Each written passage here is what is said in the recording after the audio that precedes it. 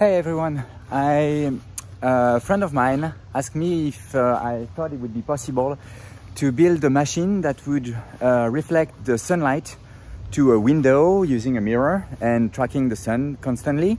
And I was like, hmm, of course I can do that. And I, and here it is finally. Um, so let me introduce you um, uh, to the mirror of Denis.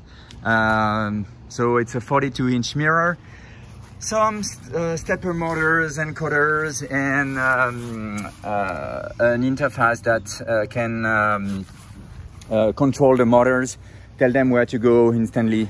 Just have a little calibration of the machine to set up the north and the horizontal and then you select your target and you're good to go. Uh, so let me show you. Um, so for example, right now, uh, you can see it's very bright, it's very powerful.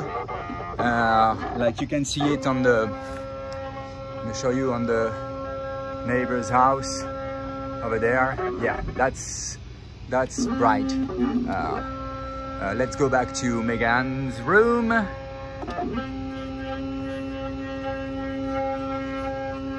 Oh, too low.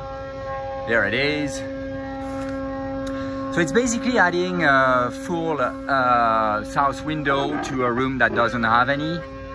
Uh, that's a lot of light, like you can see inside the room right now.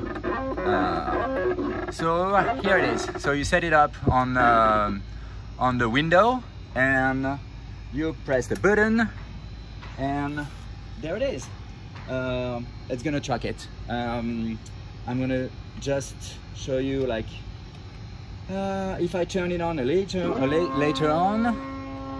So maybe the sun's gonna be uh, somewhere else.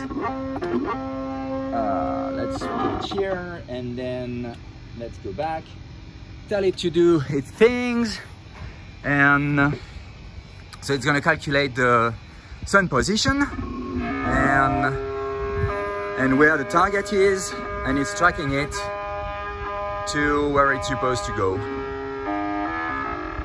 Yep. And so I'm gonna do a little time lapse so you can see, uh, so I can prove you that it's working. Um, uh, yeah. Bye.